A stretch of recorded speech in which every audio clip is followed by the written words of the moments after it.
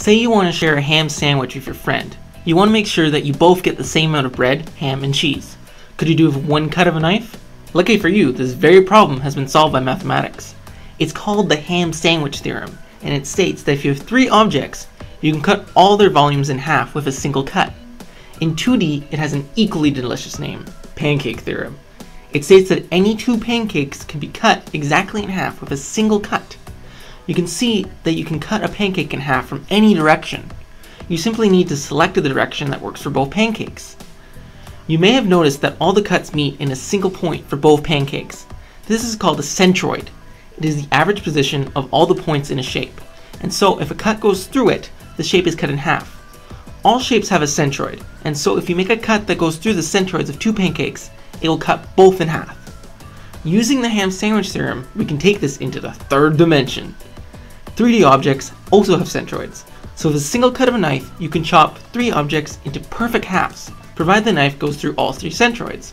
We can even take it further. The ham sandwich theorem applies in 4D and beyond. While difficult to visualize, the fourth and higher dimensions can be described mathematically. You can cut a 4D environment with a hyperplane whose surface can be described by three dimensions, in the same way that you can cut a 3D environment with a plane whose surface is 2D, or a 2D environment with a line. A hyperplane can cut four objects in half, provided it goes through all their centroids. The number of objects that can be cut in half all at the same time is equal to the number of dimensions in the environment, even as the number of dimensions gets farther from what we are familiar with. But why does the number of objects go up with the number of dimensions? It has to do with the number of points needed to define the cut. A line can be defined by two points. Any new points might not lie in the line, so you can only ever be certain of cutting two objects on a flat surface.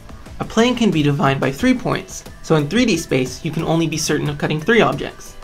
The pattern continues in higher dimensions. An n-dimensional hyper ham sandwich with n ingredients can all be cut in half with an n-1 hyperplane.